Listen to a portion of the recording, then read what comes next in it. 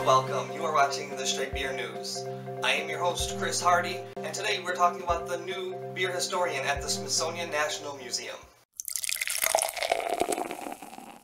Back in summer of last year, uh, July of 2016, the Smithsonian Museum put out a job posting, a notification, letting people know that they were interested in hiring a beer historian. This led to mayhem on the internet. Uh, the posting was spread far and wide with uncertain people uh, applying and maybe exaggerating their experience or going a little bit too far on their uh, explanation of their credentials. It was a job that was highly sought after, I'm positive. There was a lot of interest by beer enthusiasts. I'm certain it led to six to seven months of a nightmare of a night at the museum.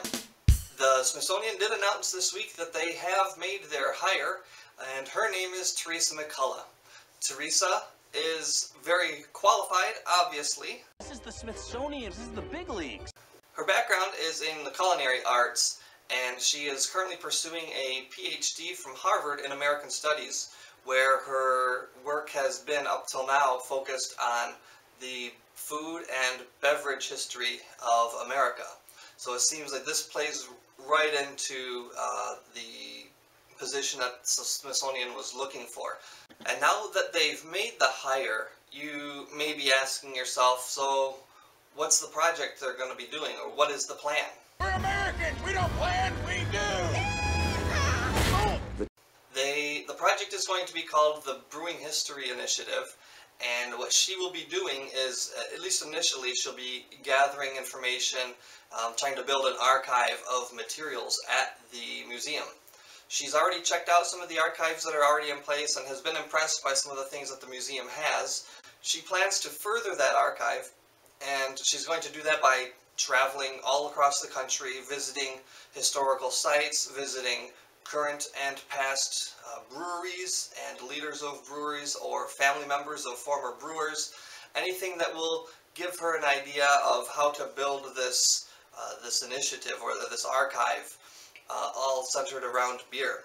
In her comments about being hired, she's mentioned to media that uh, you know beer has a, a, large place in American history. Uh, it touches on much of the fabric of our culture, including immigration and urbanization as well as agriculture. So she's going to try and build, uh, uh, as well as politics, obviously. So she's going to try to build a, a narrative or an oral history around beer and how it has influenced our culture, past, present, and possibly what it means for the future.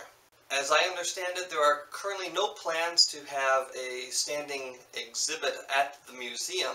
That may come down the line depending on interest and depending on the material she's able to uh, to, to curate. Uh, but she, she, said that she will be posting information and pictures and you can follow her on the social media. So look for the Smithsonian social media pages and sites and follow along there. I'm sure she'll be posting some very interesting things, at least things for people like you and I that might be interesting to us. So Theresa, good luck and have fun enjoying this dream job that many of us wish that we had the qualifications or the expertise or knowledge to hold ourselves. Let's go to work. Well, thanks for watching. That'll do it for us for today. This is the Strait Beer News. I have been your host, Chris Hardy. Uh, come back and see my videos. I will be posting every week. Please, if you like this video, give me a thumbs up. Uh, if you'd like to leave me a comment, you can do that in the comment section below. You can follow me on social media as well. I'm on multiple uh, media sites, including Twitter, Twitter and Instagram. So you can check those sites in the description. If you're interested in my past videos, I'll have some of those coming up that might be of interest to you. Click on those to see what those are like. And if you like what I do, there's also a subscription button, the, the big S, the Old English S that'll appear here on the screen. Click it as well, and it'll take you to uh, a subscribe button to subscribe to my channel. Thanks a lot for watching. Have a great day. See you next time.